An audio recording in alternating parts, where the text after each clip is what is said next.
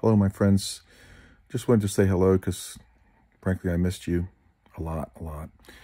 And I've, last couple, probably two or three days has been, uh, frankly, uh, I've been in a lot of excruciating pain and I don't, uh, I don't really take these little narcotic painkillers, whatever they're prescribing. So I've just been really rolling through this. And when I fell, uh, as I told the story the other day, and I fell in my yard and I had to crawl into my house. When I fell, because my leg buckled under me, my, my injured knee, I fell really bad on like my elbow and my shoulder and all this. And, and I have basically an enormous amount of pain that has spiderwebbed from my, my deltoid originally in the front to down in my chest, down my arm, even into my bicep, and then in my rear deltoid, like this whole area and I'm left-handed and I have to like, I'm holding the phone right now and I have to switch to my right hand because it's so heavy. And my, uh, what does an iPhone weigh?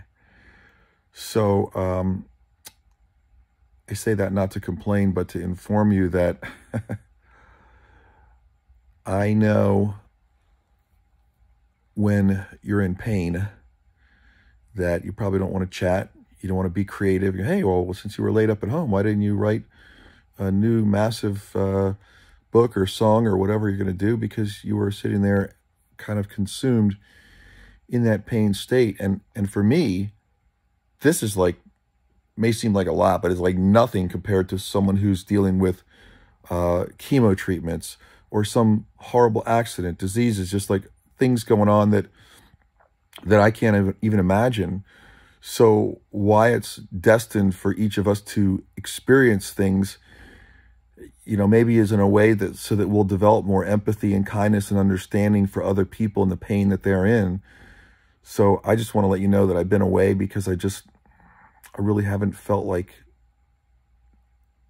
talking to anyone.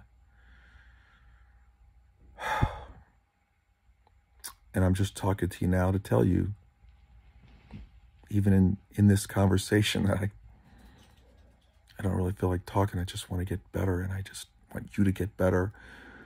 I want I want you not to be in pain. I've wanted that this whole time. I know you've been posting about things. You know who you are.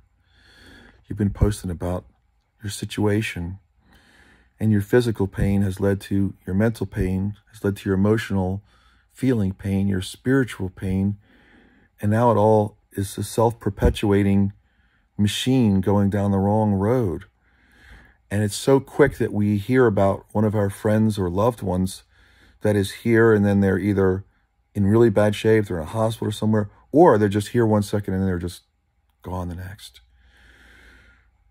And it's really like that. Um, I just really want you to just know, not forget about me, just as a, as a reminder from me to you that there's someone somewhere hurting worse than you, hurting worse than me, and just give them some part of your energy that says, I, I want better for you. And better will come to you for that.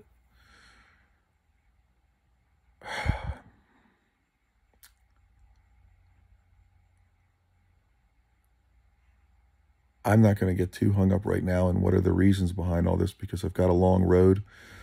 Oh, and I I completely forgot to tell you, it's not just a matter of this pain or that, but if you're still in four minutes later in this video, um, I found out on um, Monday or Tuesday, excuse me, one or the other, when I finally got my MRI reading back that my um, my tendon from my kneecap at the base of my patella at the bottom of it, disconnected by about two centimeters. It's called two centimeters distal, D-I-S-T-A-L, on the report. That's like disconnected. So me healing, whether it's stem cells, all these great vitamins, peptides, that's not going to fill the void where it was connected. So I'm going to see a surgeon um, on Tuesday. And I'm sorry, Wednesday, Wednesday the 6th. And first thing in the morning, and I hope that it all is a like a fit and that I can go see him and get the actual, maybe like an arthroscopic surgery where they can kind of weave and tie that together. The biggest thing right now is that this thing is like shooting out fire in my shoulder. And this is never, never, never, I'm talking, uh, never hurt like this. I, I've been working out since I was 19. And that was what, two years ago? Because I'm 21 right now.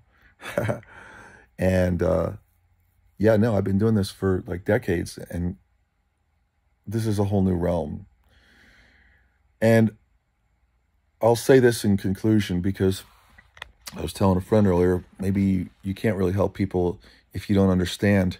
And if you're like, hey, I'm 50 some years old and I'm working out, and like, yeah, well, that's all well and good for you. Maybe you don't know because you, you've never had an injury, you've never had a disease, you never had these things going on. And whatever they are, I'm sure whatever I've been experiencing doesn't even compare to what you and people that you know and love have experienced. So it at least puts me in a mindset where I'm like, wow, I really have been even more fortunate and I'm even more grateful for all the the health, all the injury-free, you know, pain-free or minimum pain situations over the years. And I've invested a lot into it, don't get me wrong. It's not that it's happened out of nowhere or just from genetics or whatever.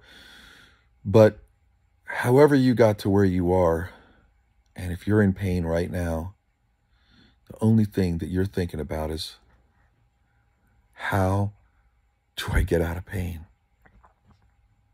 That's it. Because you can't go onto the other stuff and, and tune this out. It won't let you tune it out. So I wanted to post. Here's a post. Let me know what kind of pain you've been in. Let me know what kind of pain you've experienced. And let me know what you would say to someone, not me, not me, that's in that pain and feels different now. I feel like here was this before, here's this after. Thankfully, I have a spiritual side that has helped me a lot. And even physically, by working out so hard, have helped to make it easier. But nothing could prepare a person for the fact that sometimes just life changes on a dime. And I hope the next time I hear from you or see you that you give me a smile, you tell me you've moved through this pain and that you're feeling better right now. And just know that uh, you matter. Thanks for uh, jumping in here for a minute. Appreciate you.